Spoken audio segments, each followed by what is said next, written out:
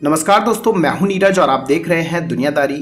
दोस्तों, मुंबई के D Y Patil stadium में मुंबई इंडियंस और राजस्थान रॉयल्स के बीच खेले गए मैच में राजस्थान रॉयल्स ने मुंबई इंडियंस को हरा दिया है। बात करें मैच की तो मुंबई इंडियंस के कप्तान रोहित ने टॉस जीतकर पहले गेंदबाजी चुनी। राजस्थान रॉयल्स ने पहले बल्लेबाजी करते हुए 20 ओवर में 8 विकेट पर एक सौ तिरानवे रन बनाए। लक्ष्य का पीछा करने उतरी मुंबई इंडियंस 20 ओवर में 8 विकेट पर एक सौ अठहत्तर रन ही बना पाई।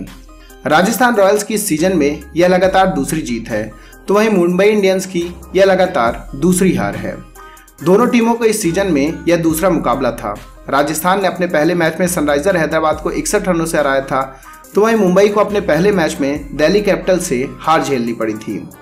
मुंबई के खिलाफ जीत हासिल करने के बाद राजस्थान रॉयल्स आईपीएल 2022 की पॉइंट टेबल में टॉप पर पहुँच चुकी है तो वहीं मुंबई इंडियंस नौवें स्थान पर है।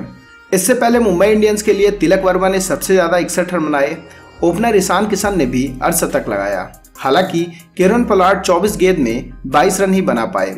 वह मैच की आखिरी गेंद पर आउट हुए। राजस्थान की ओर से नवदीप सैनी और युजवेंद्र चहल ने दो दो विकेट लिए। ट्रेंट बोल, प्रसिद्ध कृष्णा और रविचंद्र अश्विन ने भी एक एक विकेट चटकाए। बात करें राजस्थान की तो राजस्थान की ओर से जॉर्ज बटलर ने शतक जड़ा।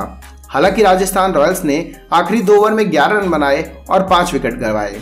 18 ओवर के बाद राजस्थान का स्कोर तीन विकेट पर एक सौ बयासी रन था। इसके बाद जसप्रीत बुमराह ने हेटमायर और बटलर के विकेट लिए।